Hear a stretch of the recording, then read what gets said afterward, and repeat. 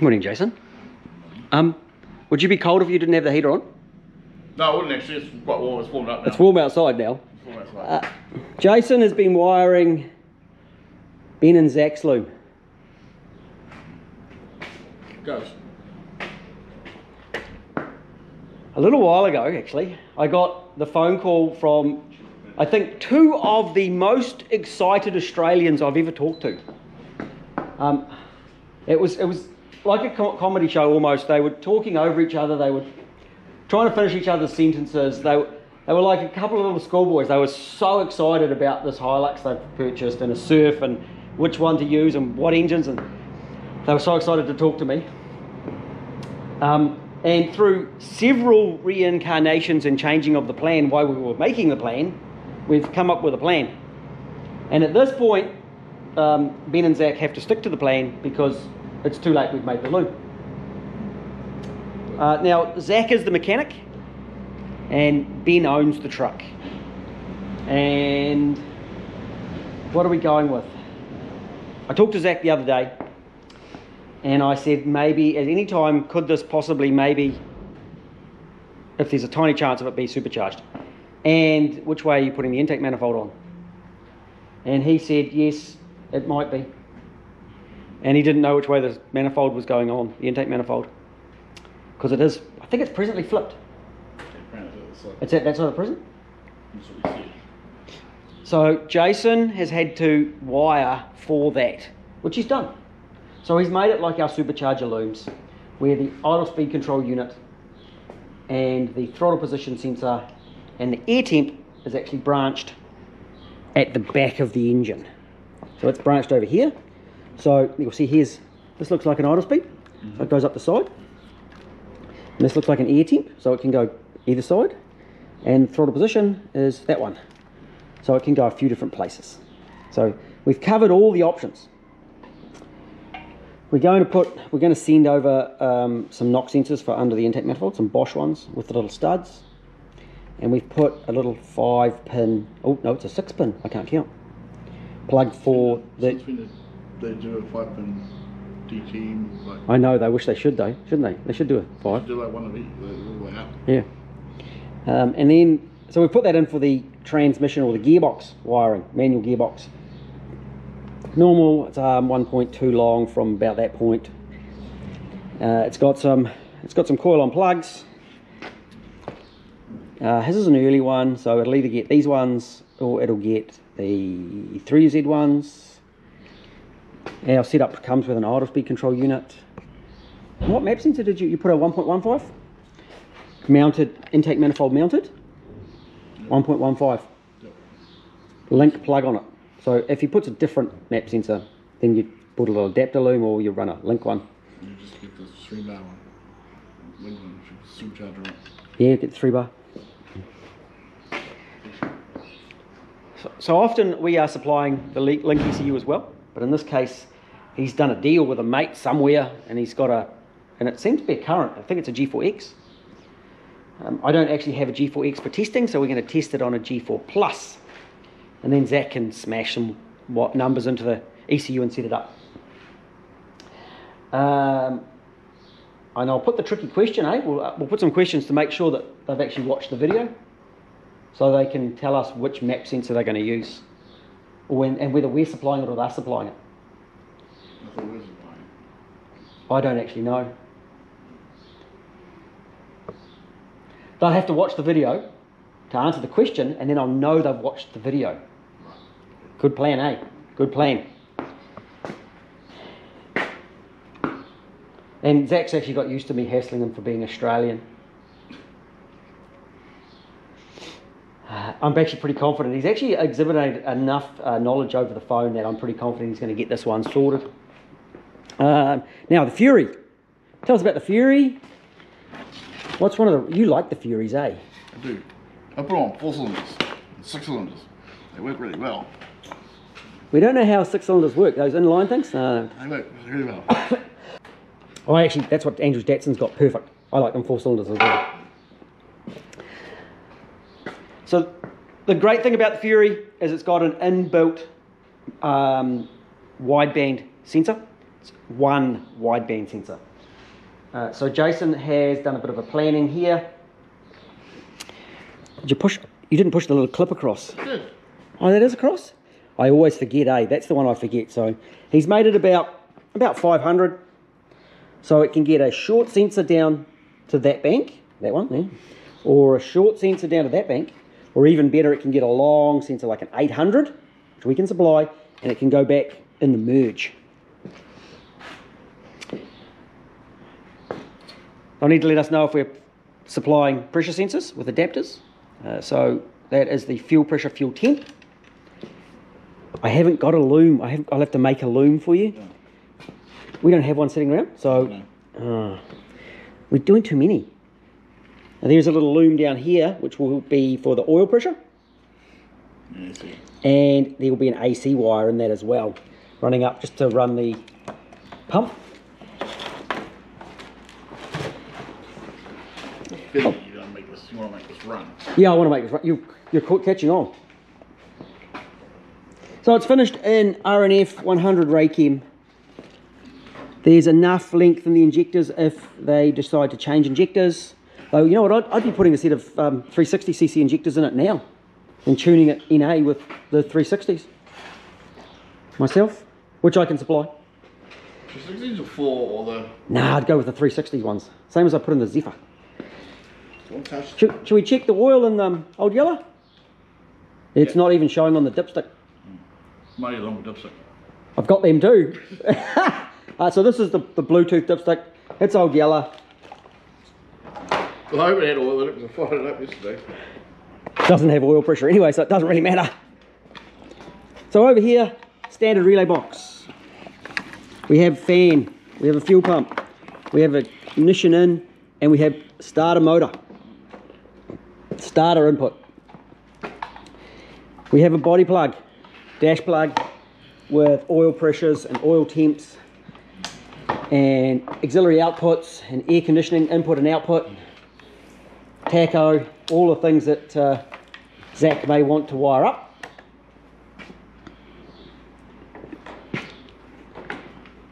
Of course, we have a oil, oil, a water temperature sensor right there. And if you want to run just an oil light, either it can be triggered off the ECU, or it can come off that plug directly. I'll get my fingers away, eh? Fan relay. Hey, fan relay missing. Crank sensor, cam sensor, left hand side. Oh, We will be sending the idle speed control with it. You- Got a problem? fuel pump. Yeah, we need fuel pump. And is there fuel? Yeah, bucket of noise has got fuel in it. I'm happy with that. Is this one long enough if he wants to take it through here, it'll go down? They normally are. Um, maybe. Normally when you wire them. So this is the factory spot. But it is possible if you want to bring them through here, zip tie them, cut some covers and drop them down. Um, maybe. Maybe we can plug it. Oh, yeah. Yeah, it reaches fine. It, all the other ones you've done have been able to do that. That gets stuff away from here, especially if you're supercharging. So I actually like on when you're doing this way, and you've been doing them perfect, to do it that way. Tucks them out of the way a little bit more. And then you tuck all that in there. That looks nice. The tune on this is the base map off the Link software, so it doesn't run very well. We just have to know it all runs and does some stuff right.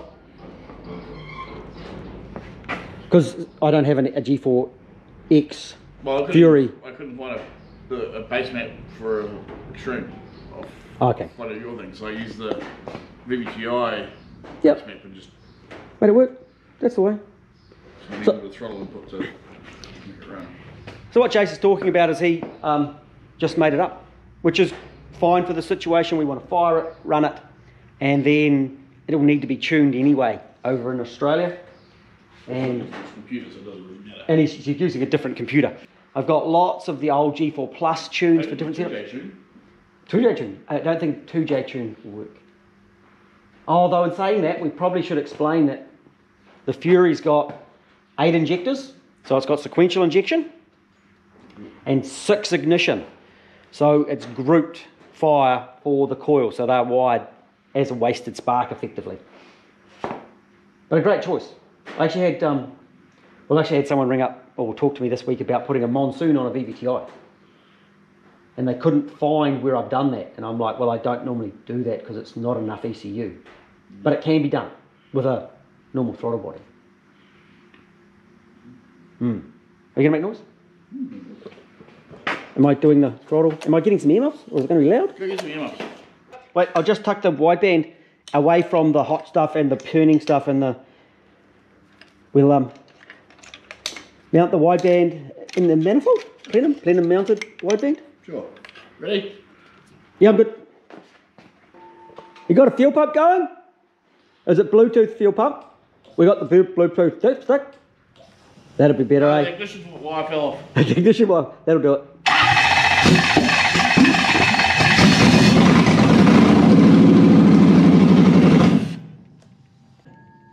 Uh, might be a little bit lean there at the moment.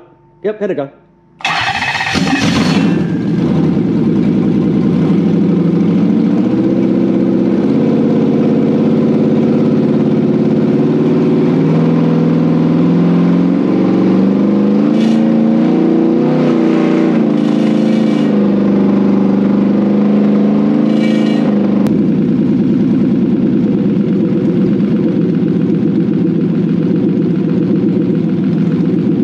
That's not too bad a tune, Jace. For a, for a, just a smash together. That's not bad at all, eh?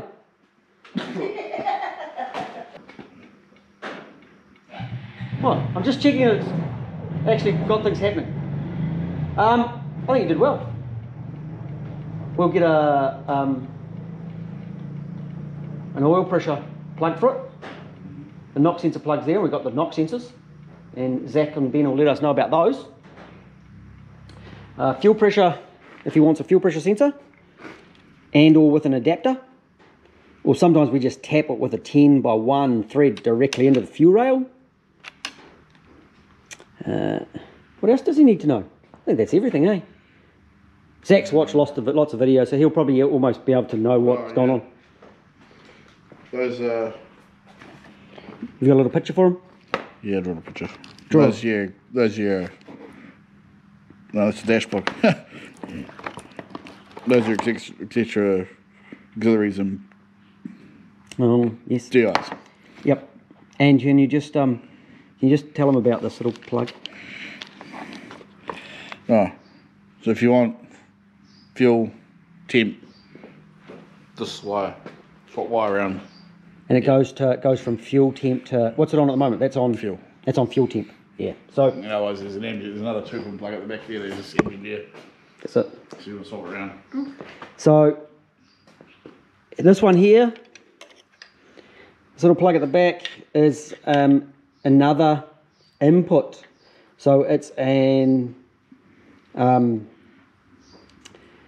this is a ambient air temperature if it ever gets supercharged. Okay, so we would normally run a, an inlet air temp under the supercharger and an ambient. This one's more of an ambient at the moment. We, we call it the inlet, but it's actually measuring the air entering into the throttle body. But when there's a supercharger, we measure it after the supercharger, which is what this one's for. Though we could have put it on an auxiliary and put a. It could be changed and we by doing this we often do this when we don't have enough auxiliary uh, analog inputs we could have wired this one with a pull-up resistor if we wanted but this is for a down the track maybe it could be possibly it's going to get supercharged um, so that can be addressed at that time but the wire's actually already in the wiring loom to run that sensor if required Oh. There's two ears in front of the head for the calls.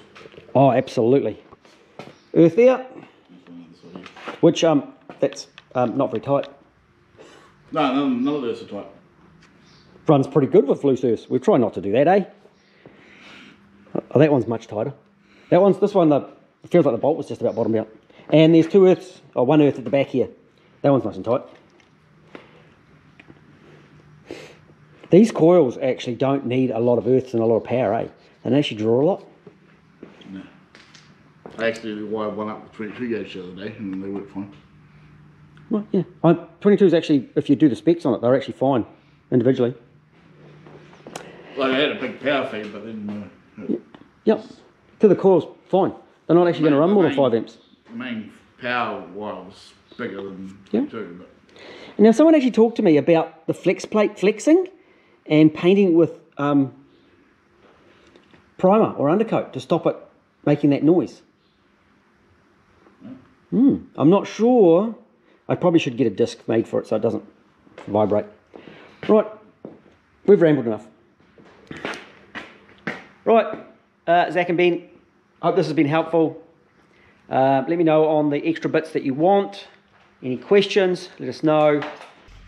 I also need to know if uh, you guys want an air temp sensor, which is normally included anyway, so I'm probably just going to put it in the box. Um, now we're going to just have a quick chat about the tunes. I endeavour to supply a set of numbers for the ECU that I'm supplying. However, people do sometimes use ECUs outside of our normal bounds, that, or the G4X I haven't developed a whole heap of tunes for yet. I've got a few, I've got some numbers. So we will supply a set of pinouts for the setup normally. And um, I will allow Zach to have access to my special link folder for a period of time so he can assemble a suitable tune. It's going to go to the dyno and be set up there, but a good set of numbers to make the engine start and run. They all should be tuned. Um, if, if I am supplying the ECU, we will supply the ECU as it's come off our engine. That starts and runs and works. If you've had your ECU, purchased your ECU somewhere else, and had your loom made somewhere else, then I'm going to charge for the tuning help and setting up help. Um, and I've just been sorting another person's problem out, and the builder of that loom didn't supply the map sensor. And the um, the documentation was interesting. So I actually, that's why I try to do a video of most of the looms that we send out. And that's the two J shoe back on this. Yeah, you probably should have put the 2J tune back on, just put a note with it. Um, and, and whenever I'm looking at other jobs and other jobs that people have done and the problems I'm solving, it endeavours to, for me to try and make it better. Um, Brian over in the USA, I seen him in a Haltech loom recently. Um, I didn't actually have the Haltech pinout for the so from the body plug to the relays. He didn't get relays and fuses, which I don't normally do. I sent him a photo of it. We had a bit of a chat, and he wired and put it together. So I do expect the people who are fitting these to have some level of competence with setting up wiring and aftermarket computers. Okay, and generally I've got to know the person, and I kind of know what information they will need, and it's a little bit customized for every single job. And it will continue to be that way with the nature of the work we do. Jason's going to pop it off this engine, and he's going to wire a Haltech for Australia next. Do it again soon. Catch you later.